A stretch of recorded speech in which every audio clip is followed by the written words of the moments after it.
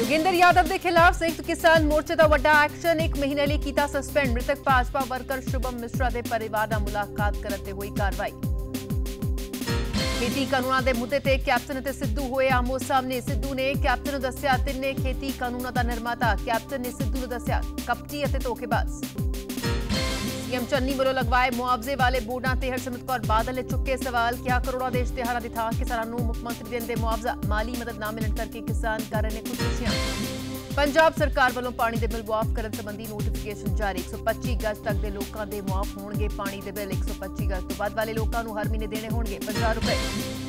ਝੋਨੇ ਦੀ ਖਰੀਦ ਨੂੰ ਲੈ ਕੇ ਕਿਸਾਨਾਂ ਨੇ ਚੰਡੀਗੜ੍ਹ ਬਠਿੰਡਾ ਕੌਮੀ ਇਸ਼ਾਰਾ ਕੀਤਾ ਜਾਮ। 2 ਘੰਟੇ ਤੱਕ ਆਵਾਜਾਈ ਹੋਈ ਪ੍ਰਭਾਵਿਤ। ਪੁਲਿਸ, ਪ੍ਰਸ਼ਾਸਨ ਦੇ ਭਰੋਸੇ ਮਗਰੋਂ ਕਿਸਾਨਾਂ ਨੇ ਚੁੱਕਿਆ ਧਰਨਾ। ਮਾਛੀਵਾੜਾ ਵਿੱਚ ਸਮੂਹਿਕ ਬਲਾਤਕਾਰ ਦੀ ਸ਼ਿਕਾਰ ਕੁੜੀ ਦੀ ਹੋਈ ਮੌਤ। ਲੁਧਿਆਣਾ ਦੇ ਹਸਪਤਾਲ 'ਚ ਇਲਾਜ ਦੌਰਾਨ ਤੋੜਿਆ ਦਮ। ਮ੍ਰਿਤਕ ਕੁੜੀ ਦੇ ਮਾਪਿਆਂ ਨੇ ਮੁਲਜ਼ਮਾਂ ਨੂੰ ਫਾਂਸੀ ਦੇਣ ਦੀ ਕੀਤੀ ਮੰਗ। ਬਠਿੰਡਾ ਵਿੱਚ ਦਿਨ ਦਿਹਾੜੇ ਨੌਜਵਾਨ ਦਾ ਕਤਲ। ਦੋ ਗੁੱਟਾਂ ਵਿਚਾਲੇ ਹੋਈ ਕੁੱਟਮਾਰ ਤੇ ਫਾਇਰਿੰਗ ਵਿੱਚ ਇੱਕ ਨੌਜਵਾਨ ਦੀ ਮੌਤ। ਇੱਕ ਗੰਭੀਰ ਜ਼ਖਮੀ ਅਕਾਲੀ ਦਲ ਨੇ ਚੁੱਕੇ ਕਾਨੂੰਨ ਵਿਵਸਥਾ ਤੇ ਸਵਾਲ।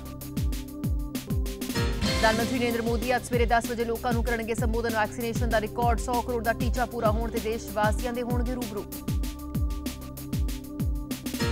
ਅਤੇ ਅੱਜ ਬੜੀ ਸ਼ਰਧਾ ਭਾਵਨਾ ਦੇ ਨਾਲ ਮਨਾਇਆ ਜਾ ਰਿਹਾ ਸ਼੍ਰੀ ਗੁਰੂ ਰਾਮਦਾਸ ਜੀ ਦਾ ਪ੍ਰਕਾਸ਼ ਪੁਰਬ। ਸ਼੍ਰੀ ਹਰਮੰਦਰ ਸਾਹਿਬ ਵਿਖੇ ਵਿਸ਼ੇਸ਼ ਸਮਾਗਮ ਦੂਰ ਦਰਾਡੇ ਤੋਂ ਪਹੁੰਚ ਰਿਹਾ ਸੰਗਤਾਂ। ਗੁਰੂ ਚਰਨਾਂ ਛੋਰੀਆਂ ਨੇ। ਨਤਮਸਤਕ।